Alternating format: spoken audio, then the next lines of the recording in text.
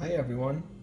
I want to take the time now to show you how I make my vegan sesame seed milk which serves as like a soy milk, almond milk substitute and you can do it at home yourself which I really love making my own stuff. So here we go. To start with you're going to need the white hulled sesame seeds and I get a, bulk thing of them store them in a glass jar and then I'm gonna take about a half cup here. This little cup about a half cup easy enough. And I like glass jars so I use glass jars a bit. And now I'm gonna pour these in the glass jar. Boom. Yeah, we're gonna go over here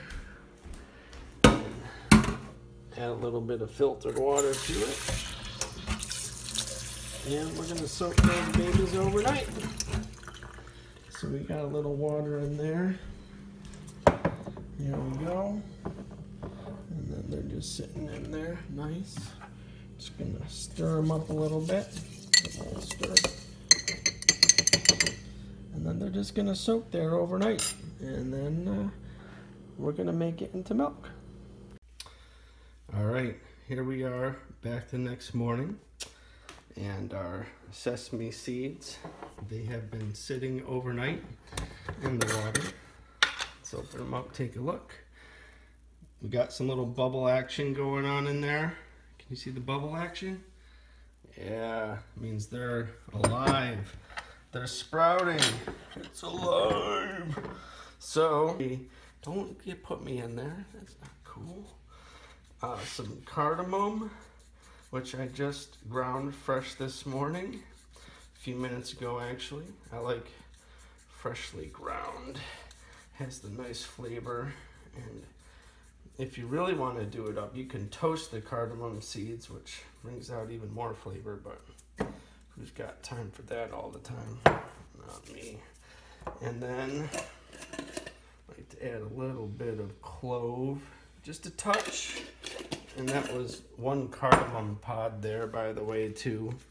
And I ground up some fresh nutmeg, put that in there, and a little bit of vanilla extract, just a touch.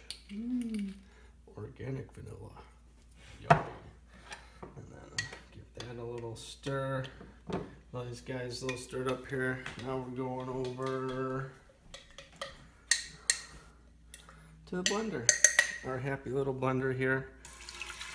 And now, I want to get about eight ounces.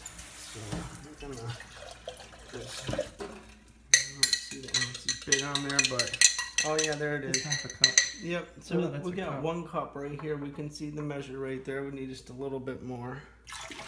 But, um, it seems to work well for me for this. Actually, I'm just gonna throw the rest in there because that's fine. It's a little lower. It's gonna be a little, but this is fine. I I think um, this is all up to play.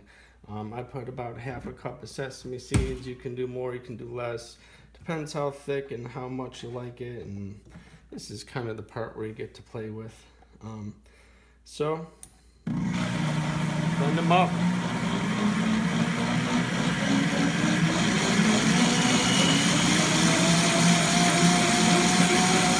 To 11. No,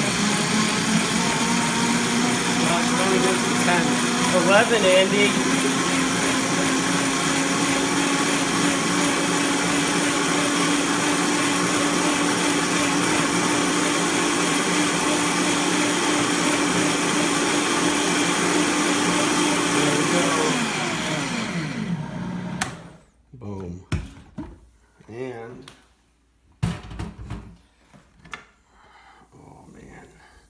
There we go.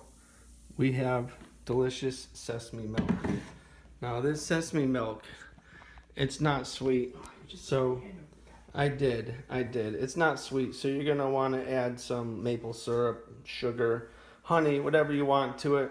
Then add it to your favorite morning cereal, or for me, my morning Uh, I call it porridge, all kinds of yummy stuff. But there you go. You got sesame milk, and um, it's fresh. Um, you can um, put it in the fridge if you make a lot, and uh, it'll store for like a day or two. I've heard, but it is live. It's got lots of good enzymes in there, and they're not gonna last for a very long time. So I would I just make mine as I need it, but you can make a, a few batches ahead and keep it in the fridge. So um, I hope you enjoy, and uh, yeah, have a good one.